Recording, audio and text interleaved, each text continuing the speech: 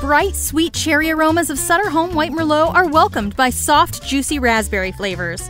Created from Merlot grapes, the magic is in the winemaking. After harvesting fruit from premier vineyards in California's cool marine influenced Delta region, winemakers divide their bounty in half. One lot goes directly to press without crushing, minimizing color extracted from contact with the grape skins, while the remaining lot is crushed and pressed, receiving its desirable dark red hue. After blending the lots, White Merlot's unique color is revealed.